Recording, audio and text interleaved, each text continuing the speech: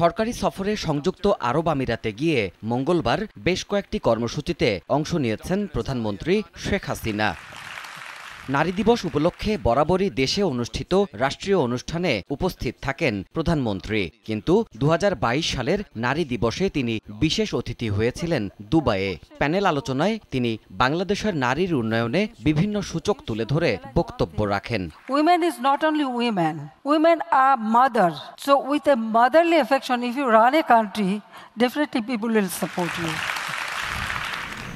পরে Dubai exhibition সেন্টারের leadership প্যাভিলিয়নে সংযুক্ত আরব আমিরাতের প্রধানমন্ত্রী শেখ মোহাম্মদ বিন রশিদ আল মাকতুমের সঙ্গে বৈঠকে বসেন প্রধানমন্ত্রী। দেশটির সাথে দ্বিপাক্ষিক বিভিন্ন ইস্যুতে দুই শীর্ষ নেতা আলোচনা করেছেন বলে জানা গেছে। এ সময় প্রধানমন্ত্রী কন্যা সাইমা ওয়াজেদ হোসেন পুতুল সহ উপস্থিত ছিলেন মন্ত্রিপরিষদের সদস্য এবং ঊর্ধ্বতন কর্মকর্তারা।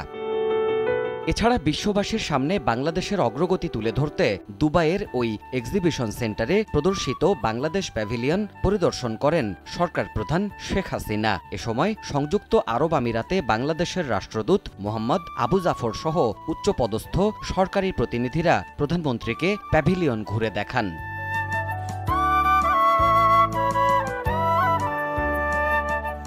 দুবাই এক্সপো দু হাজার বিশ শিরোনামের এই প্রদর্শনীতে বাংলাদেশের স্টলে ফুটিয়ে তোলা হয়েছে দেশের সংস্কৃতি, অগ্রগতি, হস্তশিল্প, উন্নয়ন এবং বৈজ্ঞানিক উদ্ভাবন সহ বিভিন্ন দিক। এর মাধ্যমে বিশ্ব সম্প্রদায় এক বদলে যাওয়া বাংলাদেশের প্রতিচ্ছবি সম্পর্কে স্পষ্ট ধারণা পাবেন। Virtual expo Dubai dot com ওয়েবসাইটের মাধ্যমে বিশ্বের যে কোনো প্রান্ত থেকে অনলাইনেও দেখার সুযোগ রয়েছে এই প্রদর্শনী। দেবাশিস রায়, সময় সংবাদ।